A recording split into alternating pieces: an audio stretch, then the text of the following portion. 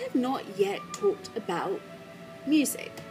I'm talking about from the moment you walk into the hotel, the music that we play in our public spaces.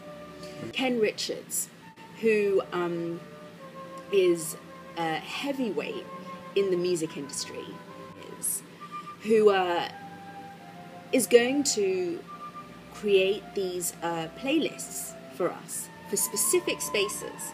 And he's got this really interesting approach. First of all, he's got this amazing taste in music and just so broad um, and deep and quality. And he can justify every decision. It's not just a, oh, I like it, but he knows why it's important, why it's good.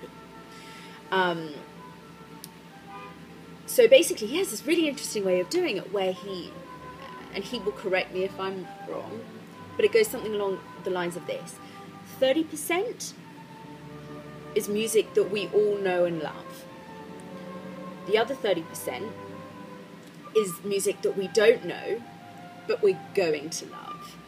And 30%, the, the last 30%, is music that we, that basically is going to challenge us.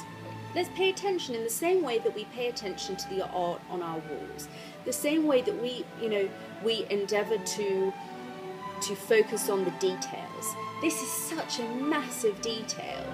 You know, you can just transform, you know, an atmosphere of a place and,